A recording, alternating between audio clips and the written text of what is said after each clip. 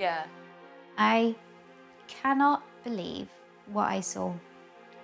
I don't think I have ever seen such a disgusting sight as week old poop and piles of it under somebody's bed.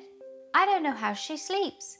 So you have poop under your bed, the bed you sleep in.